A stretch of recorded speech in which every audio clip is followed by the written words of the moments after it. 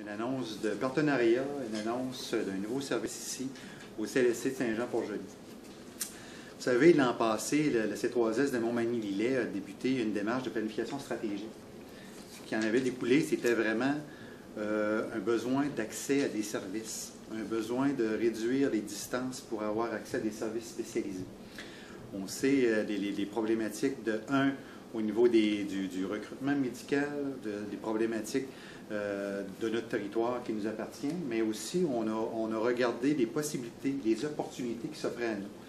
Et encore là, avec un partenariat avec la, Fondation des soins de santé, la MRC de Lillet, on a fait l'achat euh, d'un système de télésanté, de téléassistance. Et avec ces outils-là, qui sont, vous allez voir, qui sont très spécialisés, ça va nous permettre maintenant d'offrir des services spécialisés ici, euh, au, CLSC de Saint-Jean-Port-Joli. On va être capable d'emmener des spécialistes ici.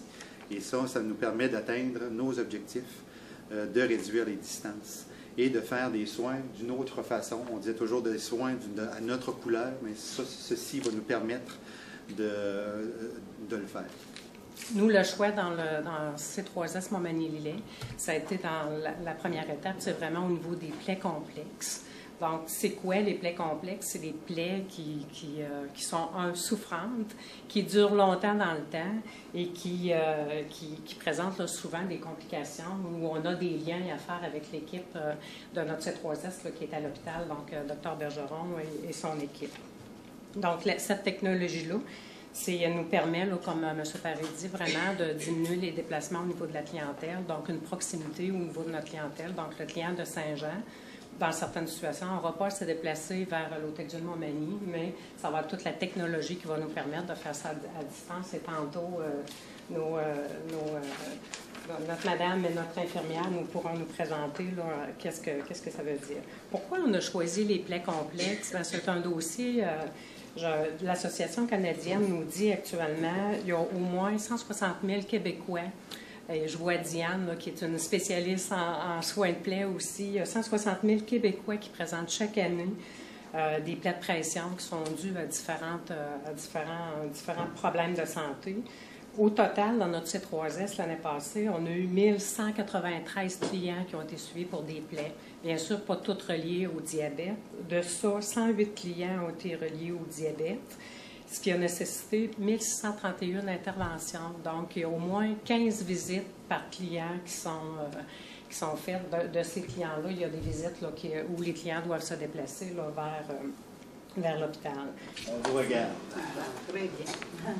Bien, merci à Diane de se prêter euh, au jeu, et à Mme Thibault, hein, ça nous fait plaisir parce que ça nous prenait comme une personne pour que vous voyez vraiment ce à quoi ça va pouvoir servir.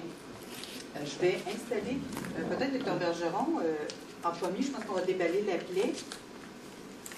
Oui. Bonjour, Dr. Bergeron. C'est une bonne idée. Moi, ça, me fait, moi ça me fait plaisir. Enfin, je vous vois.